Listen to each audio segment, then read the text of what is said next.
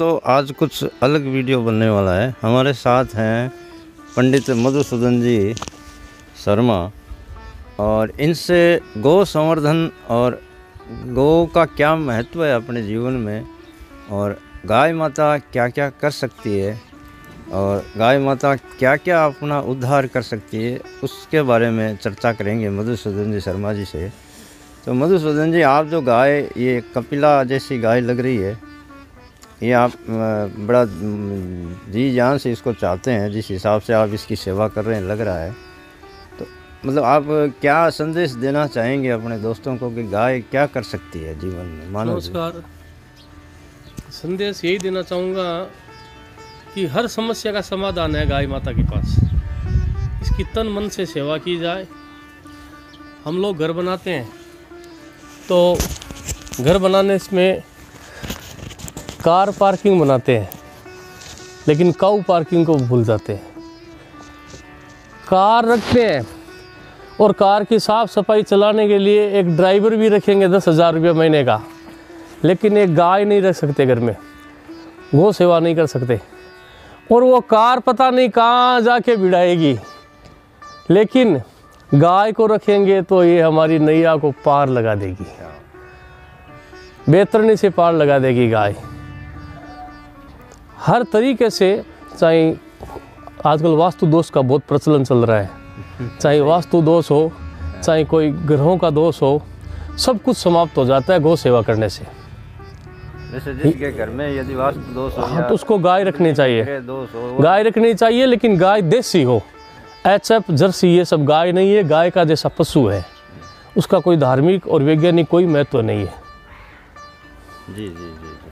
गाय देसी होनी चाहिए। अब देसी गाय की पहचान है कि उसके ये जो है हम्प अच्छा ये इस हम्प जो है ये ये हम्प होना चाहिए। जिसको जिसको हम मारवाड़ी में देसी भाषा में थुई बोलते हैं ये थुई होनी ज़रूरी है। इसमें सूर्य केतु नाम की नाड़ी होती है।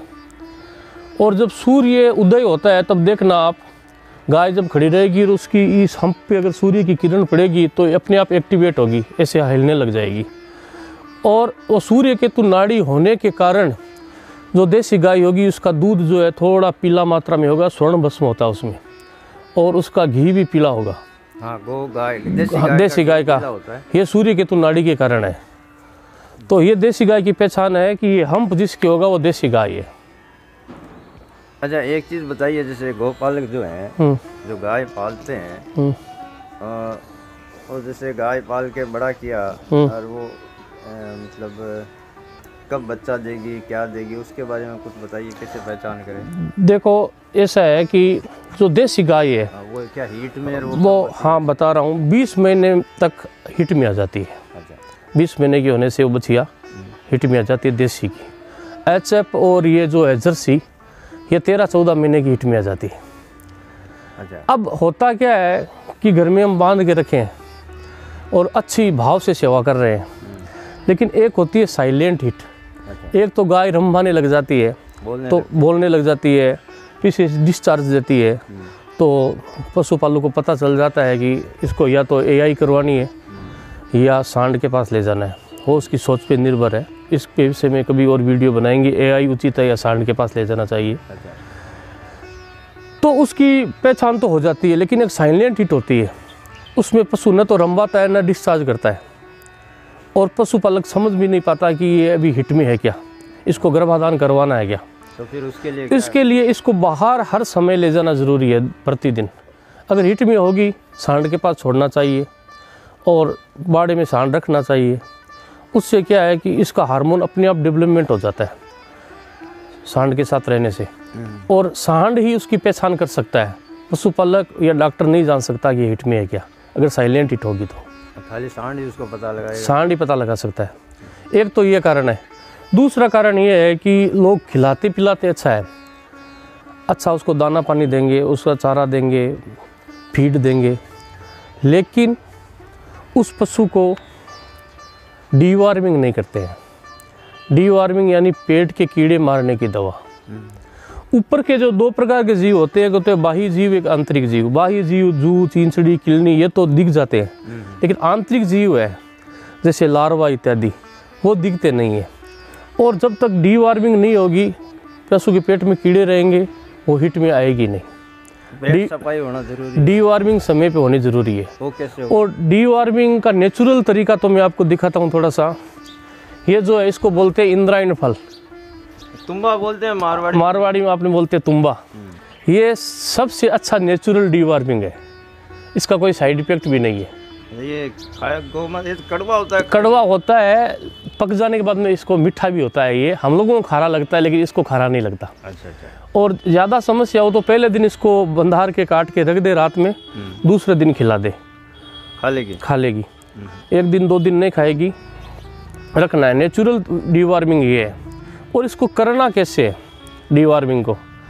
ऐसे एलमेंडाजोल, फेलमेंडाजोल इत्यादि गोलियाँ भी आती है मार्केट में, मौजूद है पशुओं की। लेकिन डीवार्मिंग सही तरीके से कैसे की जाए?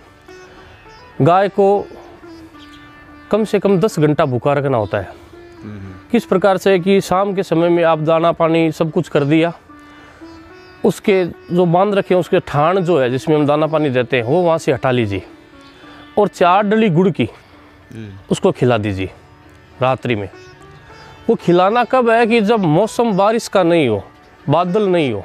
क्योंकि बादल के मौसम में बारिश के मौसम में गुड़ देने से निमोनिया बन जाता है।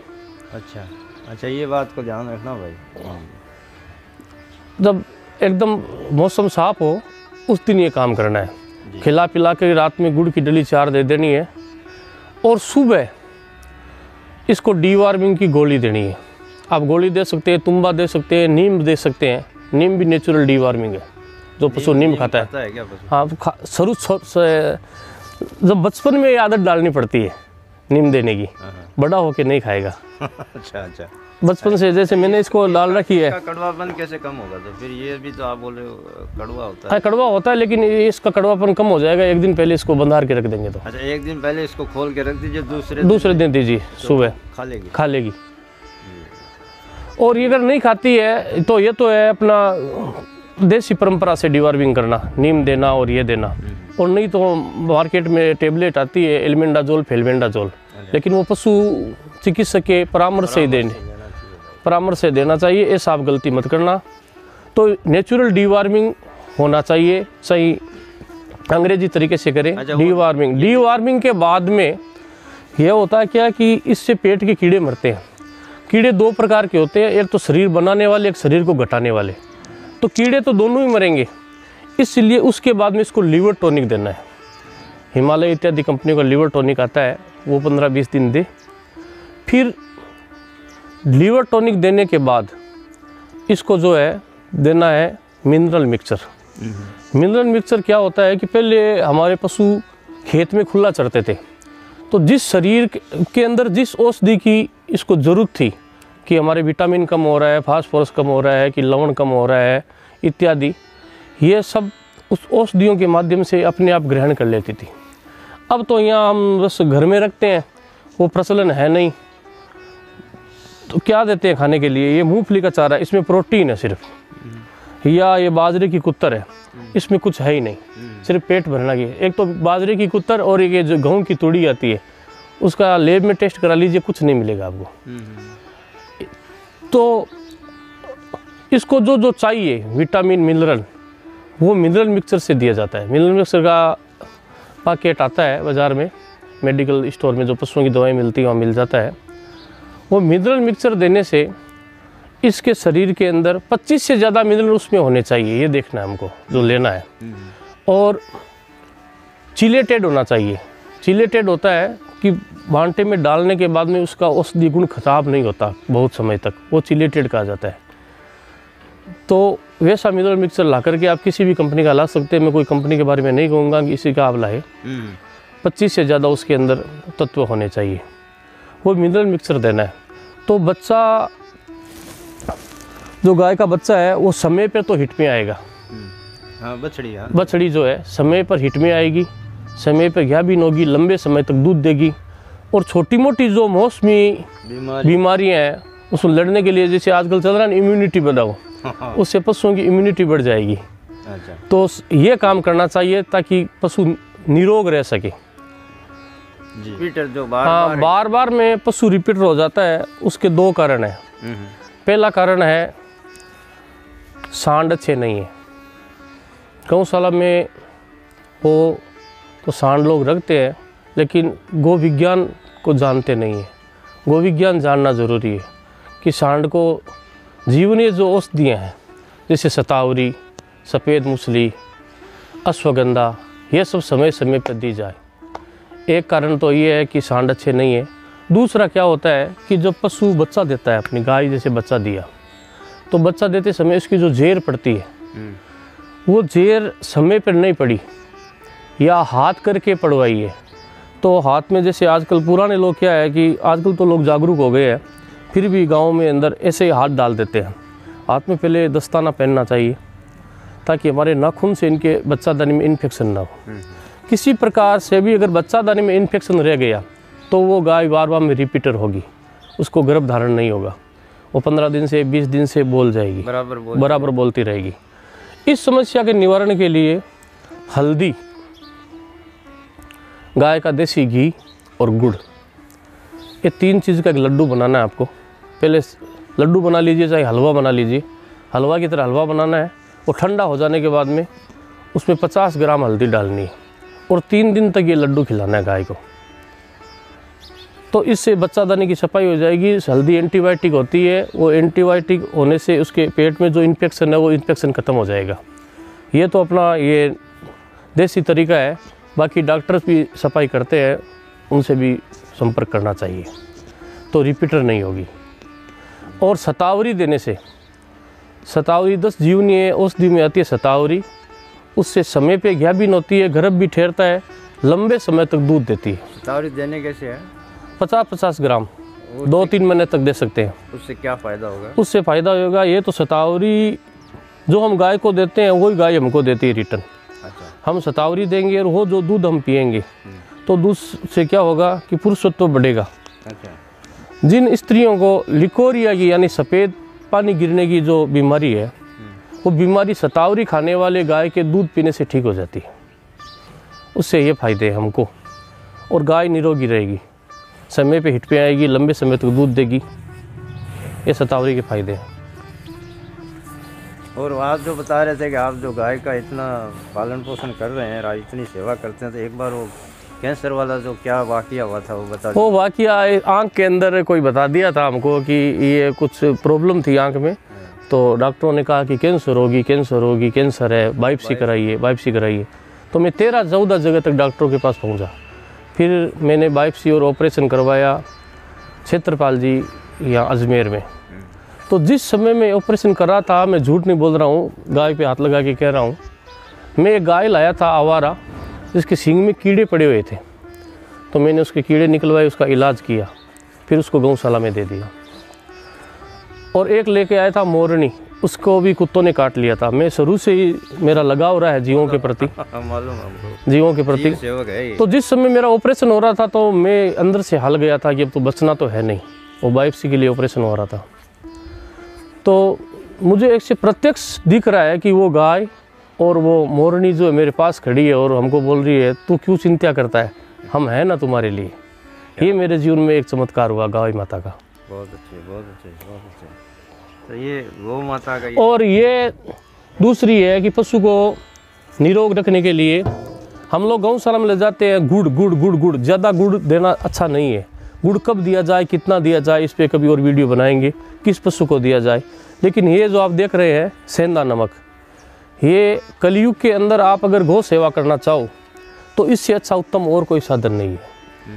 आप गौशाला में ले जाइए, सेंधा नमक, और इसका कोई साइड इफ़ेक्ट नहीं है। जैसे सौ गाय है, और दस गाय के पेट में बीमारी है। जिस गाय के पेट में बीमारी होगी, अपच है, आफरा है या पेट संबंधी कोई भी बीमारी है वही गाय इस नमक को चाटेगी। अच्छा दूसरा कोई नहीं दस नब्बे नहीं चाटेगी दस या दस की बीमारी है तो दस गाय ही चाटेगी। उनको पता है कि इसको चाटना इसको चाटना है। जैसे हम लोग कभी देखते रहते हैं कि गाय दीवार को चाट रही है। है। चूना किया हुआ वो हाँ। वो क्या है कि कैल्शियम की पूर्ति करती है गाय। चूना में कैल्शियम होता है। वही गाय चाटेगी। और कैल्शियम जो है जब पशु गर्भवती होती है पाँच छः महीने की उस समय गाय के ऊपर तीन वज़न पड़ जाता है। एक तो बच्चे को पालना एक मालिक को दूध देना और अपना मेंटेनेंस रखना। अंदर हाँ अंदर वाला बच्चे को पालना। हाँ अंदर वाले बच्चे को पालना मालिक के लिए दूध भी देना और अपना शरीर भी बना के रखना। तो बच्चा है उसको भी दूध पिलाना। हाँ तो इसलिए उस समय इसको कैल्शियम की दरकार पड़ती है शरीर को फिट रखने के लिए। तो उसी समय ये गायें फिर फिर के चूना चाटती है। और कैल्शियम देना चाहिए प्राकृतिक तरीके से देना तो अच्छा है। जैसे चूना थोड़ा ला करके पाँच किलो चूना बीस किलो पानी। उसमें चूना को रख दीजिए पानी डाल के। चार दिन तक उसको खूब हिलाते रहिए। हिलाते रहिए हिलाते रहिए। फिर वो जो पानी है पानी नीचे जाएगा। नीचे जाएगा चूना नीचे चले जाएगा पानी ऊपर आ जाएगा वो सौ सौ ग्राम बांट में आप दे सकते हैं। उसका कोई साइड इफ़ेक्ट भी नहीं है। उससे कैल्शियम की कैल्शियम की पूर्ति हो जाएगी। रेडीमेड कैल्शियम लाने की ना। तो ये जो आप, हम बात कर रहे थे सेंधा नमक पे, ये पशुओं के लिए अमृत है, सेंधा नमक। ये सेंधा नमक हर ठाण में रखना चाहिए, हर गौशाला में रखना चाहिए। आप गौशाला जाते हो तो गुड़ मत ले जाओ, ये चीज़ ले जाओ। जिस पशु को बीमारी होगी, पेट संबंधी, बोल के तो कह नहीं सकता। और गाय रखने का अधिकार उसी को है, जो गाय की भाषा समझ सके, कि ये क्या कह रही है, ये बोल के नहीं कहेगी। उसको समझना पड़ेगा। ये जैसे गो आपको मैं दिखा रहा हूँ थोड़ा बंटी भाई आप आगे आइए। यह जैसे गोबर है पशुपालक को डेली गोबर देखना चाहिए कि हमारी गाय गोबर कैसा दे रही है। ये स्वच्छ गाय का गोबर है। और उधर में देखिए थोड़ा पड़ा हुआ है ये पीछे देखिए आप। ये जो पड़ा हुआ है इस गोबर से ये पहचान होगी कि इस गाय के पानी की कमी है। सूखा हुआ सूखा हुआ गोबर देगी पानी की कमी है। और कहने का भाव यही है कि पशु के हाव भाव को समझना पड़ता है उसकी एक्टिविटी को समझनी पड़ती है कि वो क्या चाह रही है। तो आज मधुसूदन जी और संतोष कुमार जी क्या क्या नाम है आपके? हम लोग इधर इधर टावरी जी भी बोलते हैं इनको। तो इनके नाम तो अलबेले ही हैं लेकिन विद्वान आदमी हैं। और समय समय पे अच्छा ये हम्म, पंडित भी हैं ज्योतिष के भी जानकार हैं। और कथावाचक भी हैं। और कोई किसी को समाधान कुछ कुछ ऐसा कुछ बताइए जो जिससे मतलब किसी को मान लीजिए कोई एक एक छोटा सा उपाय बता दीजिए अपने मित्रों को। जैसे किसी का कर्जा लिया हुआ है और वो नहीं उतर रहा है। तो उसको आपके आपका जो छोटा छोटा जो उपाय है। वो थोड़ा हमारे मित्रों को बता दीजिए वो यदि करने से कर्जा कैसे उतर जाता है जो आप बताते रहते हैं। गो सेवा कीजिए मन से। हम्म, गो सेवा के अंदर सब प्रकार की समस्याओं का समाधान है। गाय की सेवा कीजिए और ये सेंधा नमक जो है आपकी जितनी शक्ति हो हम्म, हम्म, उतना गौशाला में दान कीजिए।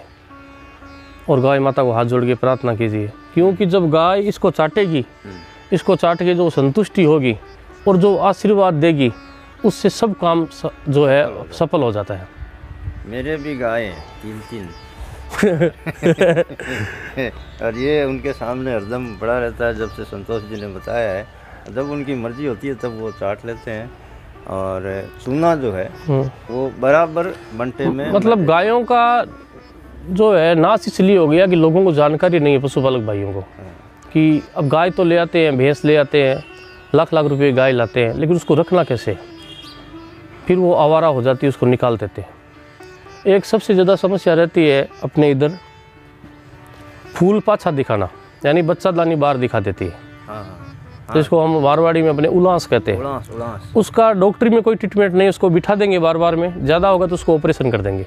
तो बाहर निकला हुआ दिखेगा नहीं ऑपरेशन हो गया तो और वो खड़ी खड़ी खड़ी खड़ी गाय एक दिन ख़त्म हो जाएगी। इसका साधारण सा उपाय है और मेरा परखा हुआ है। जो अपने बड़ का वृक्ष होता है, जिसको हम वट वृक्ष कहते हैं, उसके जो जड़ निकल जाती है, जिसको अपने मारवाड़ी में कहते हैं बड़ की दाढ़ी तो जड़ें ऊपर से निकलती है। वो जड़ें तोड़ लीजिए, और गाय है तो भैंस के दूध में, भैंस है तो गाय के दूध में। एक पाव दूध, सौ ग्राम उबड़ की जड़। वो तीन दिन तक आप पिला दीजिए। वो जो निकला हुआ है तो अंदर बैठ जाएगा और निकलने की संभावना है कि लग रहा है इस गाय के बार बार में निकलता है, उसका फिर निकलेगा नहीं। ये छोटी छोटी जानकारियाँ हैं। इन जानकारियों से पशु को जो है, पशुपालक एकदम निरोग रख सकता है। और पशु स्वस्थ और पशु मस्त तो मालिक भी स्वस्थ और मालिक भी मस्त। क्या बात है। तो इसका हम दोनों सटीक उदाहरण है और मैं तो जो बचा हूँ सब इन्हीं की कृपा से और गुरुदेव के आशीर्वाद से बचा हूँ तो आप भी घर में गौ माता लाइए और पालिए और कभी मेरी गौ माताओं के भी दर्शन करवाऊँगा। ज़रूर ज़रूर। मिलेंगे। संतोष जी ज़रूर। फिर भी कभी कभी आप ऐसी अच्छी अच्छी बातें हमारे मित्रों को बताने की ज़रूर। टाइम निकालिएगा। ज़रूर। ठीक है? और आपको वास्तु से संबंधित या अपना हम्म, ज्योतिष से संबंधित या अपनी कुंडली से संबंधित कोई सवाल यदि करना हो तो नीचे कमेंट कर दीजिएगा और इनसे वीडियो बनवा लिया करेंगे। ठीक है जी? मिलेंगे अगले वीडियो में। जय हिंद जय भारत।